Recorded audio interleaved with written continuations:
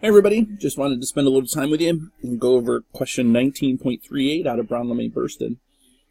Um, in this case, um, we're going to talk about entropy, and we want to determine if the entropy of the system increases, decreases, or stays the same. Okay, now, entropy is the randomness of a system, and in order to determine randomness, we have to look at the particles. For so for part A, we're going to increase the temperature. Okay? And so by increasing the temperature, we're taking molecules, and I'll, I'll take liquid molecules, okay? They're kind of far apart, okay? They're not solids. But what's happening when we heat them up is they're going to move more, okay? These are my little move markers, okay? And so they're able to move faster and faster and faster. Temperature is a measure of how fast a particle moves. And so in this case, if we heat up a molecule or a particle, okay, that means the molecule is going to become more random.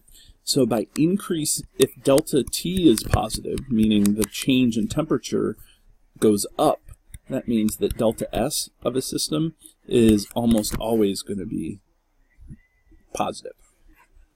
Okay.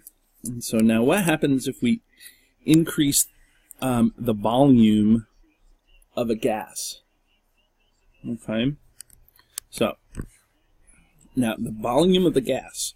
So what we're doing is we're putting a gas, let's say we're putting a gas in a balloon. Okay. Okay, here's a balloon, and let's say we have some particles in this.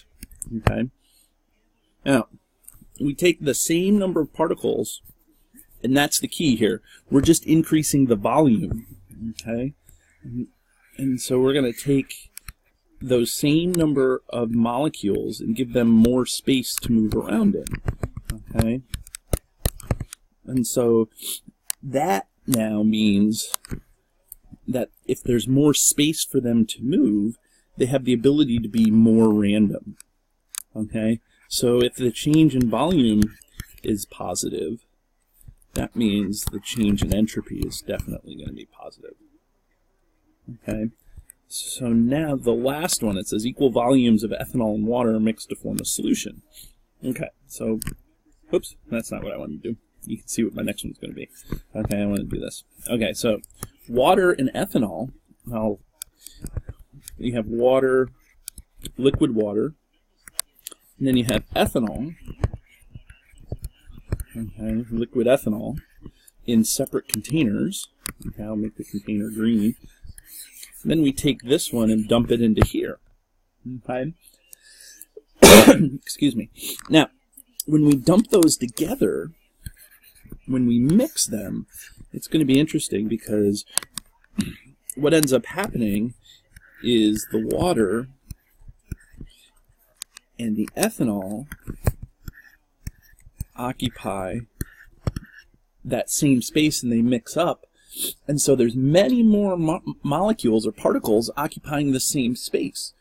More particles occupying the same space is also a change in entropy. So the delta S then becomes positive. Okay, so you have many, many, many more states that the molecules can exist in. Okay, so um, so that explains um, the answers to those questions. Um, have a great day.